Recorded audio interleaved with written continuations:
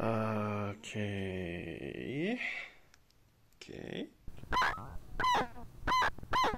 Okay, so uh, this is the Tabør here uh, by Jolin Lab, and I'm making this video because I'm selling it. Normally, I wouldn't make like a sales listing for a module, but I built this one um, from a kit I got from Jolin Lab.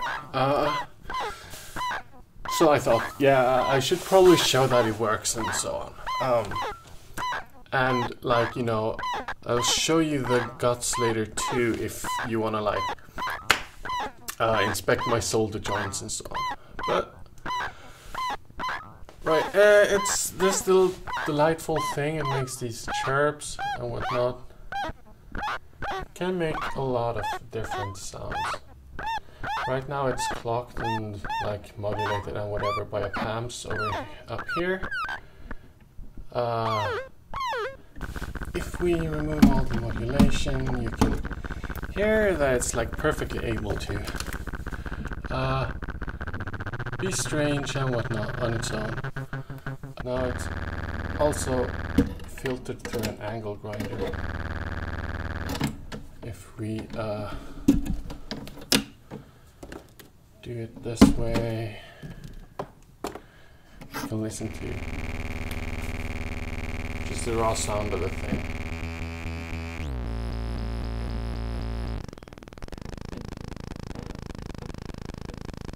So this is a little bit the sound while not modulated. Uh, there's a lot of like weird spots on this. A lot of weird spots on this.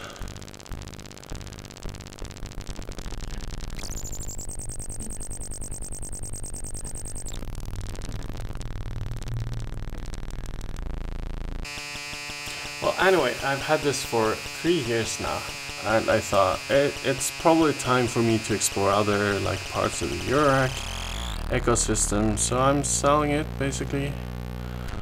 Uh, you know, try some new ideas. Uh, and so, what is this? It's four oscillators, and they're all like cross-modulating each other to various degrees. I'm not exactly sure what's going on there. Something like reverse avalanche transistor configuration, which I do not understand. Uh, but like frequency uh, oscillator one, two, and four have like uh, knobs and CV inputs, but the third one has only CVs. They're over here. Uh, these are detailed in the manual, like they're good for different things. Some is like more of an modulator. Someone is more like a carrier. Uh, and we have two outputs here. They are like uh, normal and then a little fuzzier. A little fuzzier output. Um, there's also like a trigger output which I had connected earlier to um, uh, low pass gain.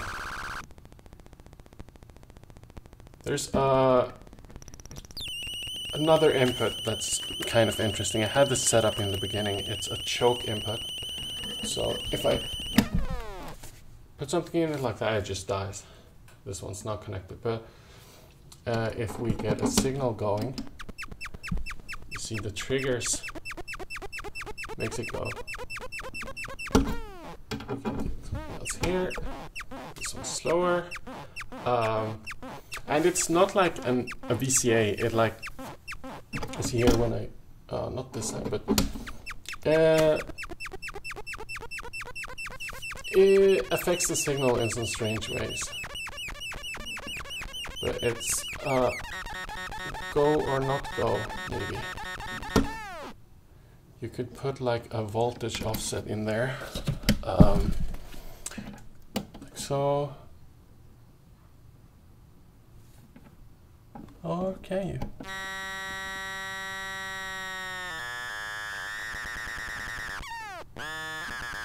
So, different voltages and gives it like a little different character. Which is kind of interesting. Uh,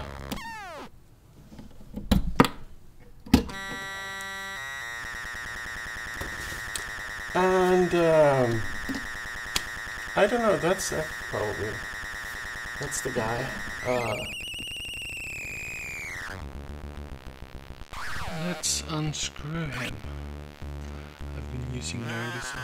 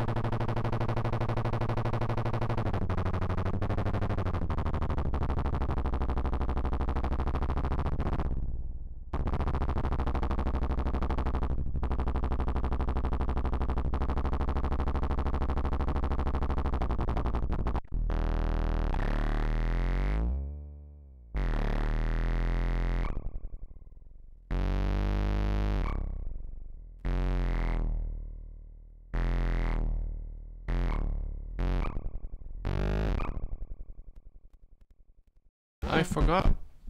There's one last thing. There's a Morphogene here.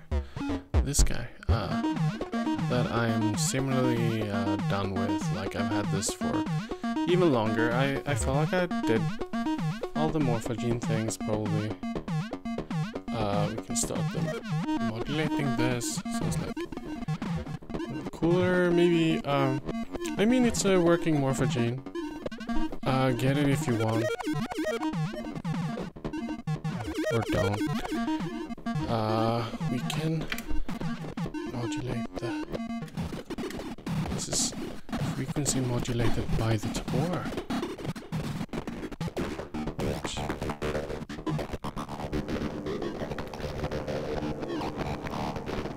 And reverb on that.